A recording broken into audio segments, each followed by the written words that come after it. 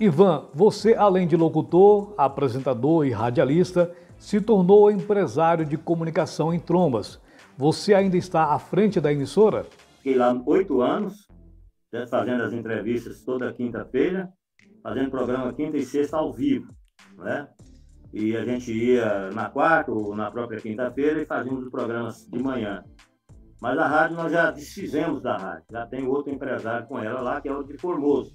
Ele adquiriu a concessão, a, a, a, licença da rádio e está tocando a rádio. Mas é difícil. Eu, porque tinha um conhecimento muito grande aqui no meio de comunicação, eu levava as publicidades daqui para lá.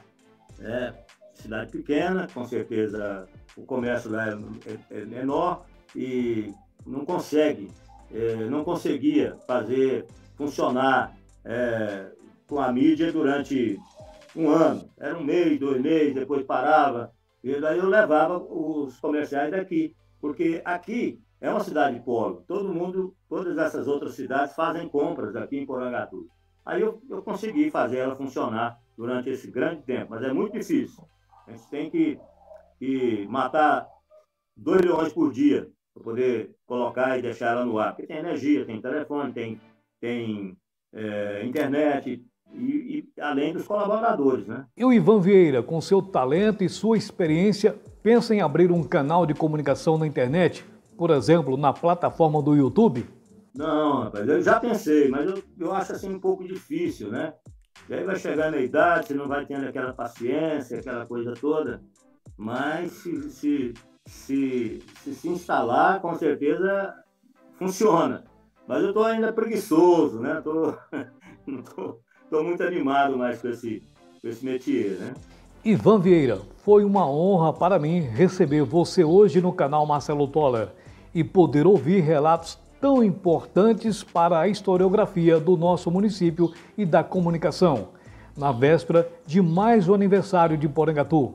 Minha gratidão por ter aceito o convite para estar aqui comigo.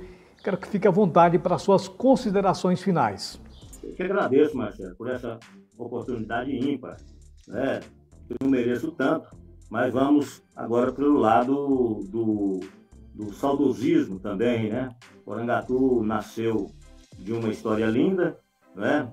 É, de garimpeiros, de bandeirantes que vieram para cá e, e, acabou se emancipando em 1948, completando 73 anos de vida, de administração, de, de emancipação política e administrativa que saiu dos laços de Uruaçu.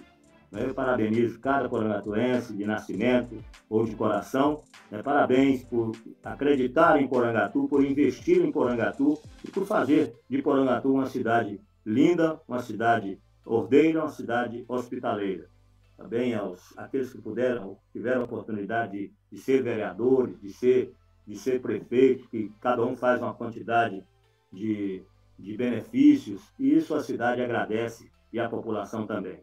Agradeço penhoradamente por essa oportunidade de falar um pouco da nossa história, porque é uma história que foi traçada é, com as bênçãos de Deus, porque só Deus mesmo para fazer com que a gente pudesse fazer tudo isso que fizemos, uma parte da nossa história.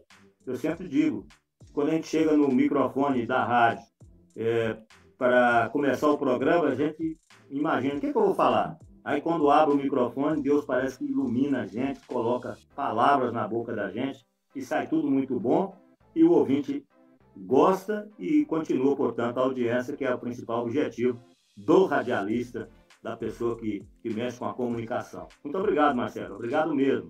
Parabéns aí pelo seu canal. Hoje conversamos com Ivan Vieira, locutor, apresentador, radialista ele que abriu as portas para que o rádio se tornasse realidade em Porangatu. Muito obrigado a você que acompanha o canal Marcelo Toller aqui no YouTube. Se ainda não se inscreveu, venha se juntar à geração de amigos. Você é sempre bem-vinda, bem-vindo. Aproveite, compartilhe este vídeo para que outras pessoas, além de ser uma linda história contada pelo seu autor, é importante outras pessoas saberem a história do rádio em Porangatu. Estou ficando por aqui, a gente se encontra numa outra oportunidade. Valeu demais e um grande abraço.